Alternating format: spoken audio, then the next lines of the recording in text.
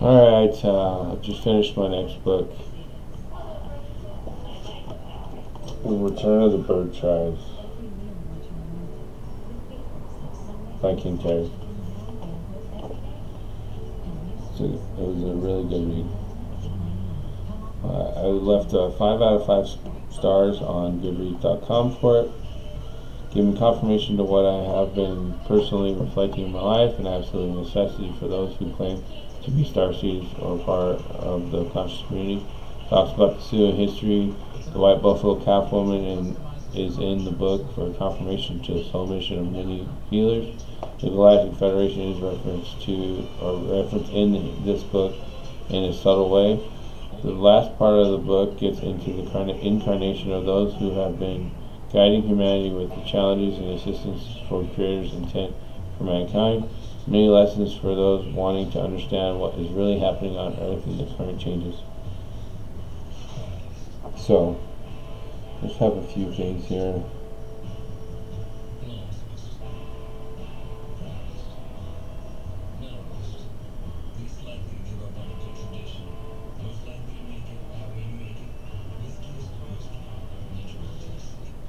Okay.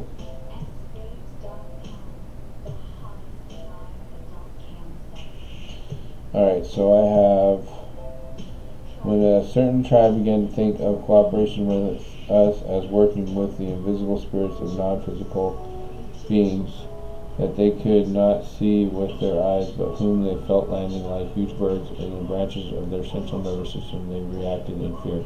Instead of seeing our light-hearted spirit values as profound basis for co-creation with their own durable physical values. The egos of this tribe began to fear this healthy and quite compatible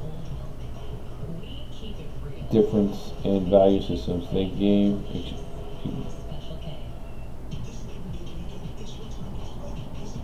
they gave exaggerated emphasis to their legitimate function of caring for the physical body and began to see our spirits as lacking in sufficient respect for their for the physical plane. They rejected our spiritual values, seeing them as frivolous and irresponsible. Identified with the piece of the puzzle with an aspect of their own wholeness. They did not realize that by that by doing this, they were in fact rejecting their true selves and choosing instead fictitious moral, mortal identities. They are focusing on the shadows and not upon the beams of light we cast them. Seeing spirit as separate from themselves, the egos cut themselves off from the inner direction designed to guide the multiplication and flourishment of these of their species on earth. In these tribes, the incarnation of the angelic spirits was interrupted, the human creation unfinished. Without the ego's cooperation, the acquired spirit-ego bonding could not take place.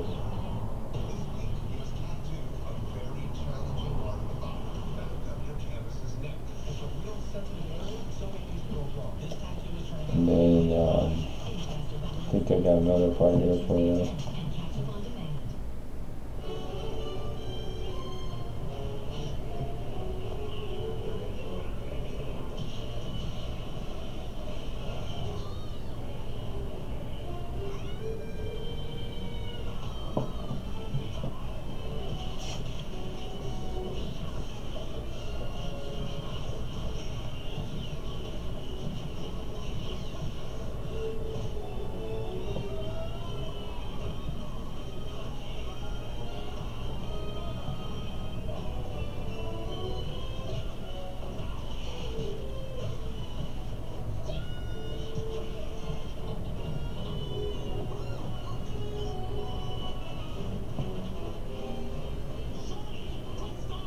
Sorry, just a sec here.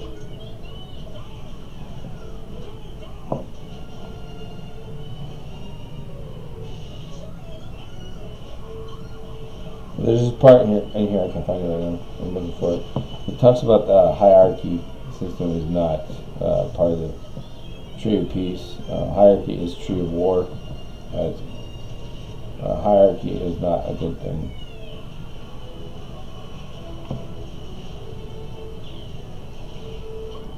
Um, also,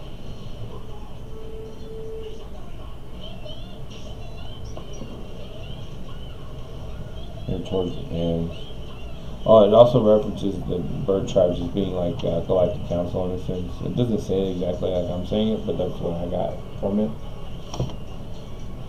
That it's a bunch of benevolent beings that may not be of the same species, but are in unison with the creator of all things. Um, oh, and the buffalo woman, I think was a hybrid. It talks about how, how she had bl- big black eyes, like she's. Um, this is what I think. I I, I think that she was a, a hy- hybrid between human and tall whites, possibly the grays, which are just another offspecies of like the cousins of the tall whites. Uh, but um, so a lot of this that uh, is talking from the bird tribes is um, after all of their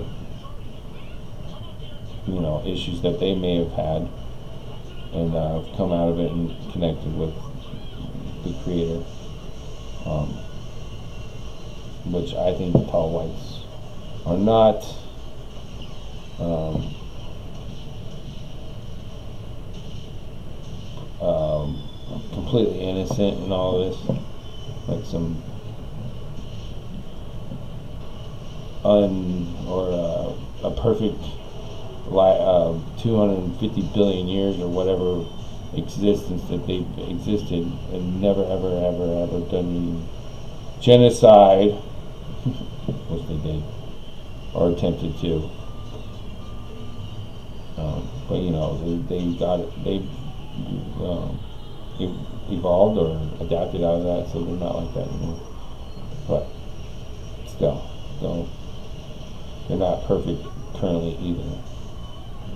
Um, that's what I'm trying to get at. Uh, also, it talks about here towards the end about the uh, what I've been trying to say and what I've been trying to tell people. It's like a confirmation of what I know and knew from for years now, many years. Um, towards the end of the book here, a big, huge confirmation what I'm you know, uh, the micro to the macro chasm of humanity to the creator, quantum physics, quantum entanglement, quantum mechanics. One man can save the world, one man can change the world. Um, let's see here, where is it?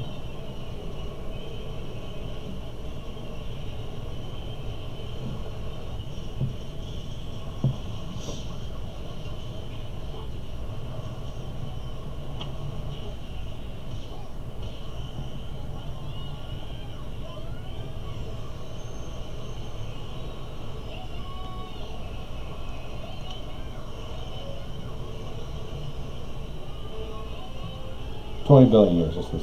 To we who have followed this process for 20 billion years, there is nothing more incomprehensible than the concept which is contained in the warrior societies that there could be conflict or opposition between the feminine aspect of God and the masculine aspect of God.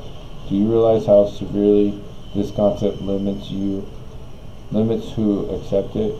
You will not find your place in the universe or form a basis of, for understanding her mysteries until sh you shed such superstition and realize that Mother God and Father God are profoundly in love. All about this universe that is feminine worships that is masculine. And the sole purpose of all about this universe that is masculine is to serve the feminine through the celebration and animation of beauty that lies in the heart. Feminine and masculine are balanced in all healthy manifestations, equal partners, lovers, truest twin friends. Your ancestral programming is invalid. Primitive notions of conflict between male and female lead to not so primitive weapons. Let your human world reflect instead the truth of the great love in which you are every moment has been awakened into a new perception and understanding of reality. Reality not as misinterpretation by the warrior tribes, but as understood by all the angelic races of God throughout eternity awaken into an accurate perception of the universe in which you live. You are the love of the Creator embodied in human form. Through the power of your love, you create. You are here in the service of universal art to create beauty and to enjoy all that has been created. The evocation of beauty and the description of truth, this is your purpose. the purpose of life, the very purpose of the universe. Is in its own way, each species decides how it can best serve this purpose once it understands it. Buffalo looks around and notices what is going on in the prairie time and prairie space and designs a life to describe truth and to animate beauty as buffaloes understand it. Whales describe time and space in their own unique forms of three-dimensional mobility, playing and swimming through seas of sound and light. The caribou embody their understanding of their universe and create caribou beauty. Seagulls embody their understanding and create seagull beauty. Angels embody their understanding with, of this universe purpose and become the means through which Great Spirit creates more species to enjoy it.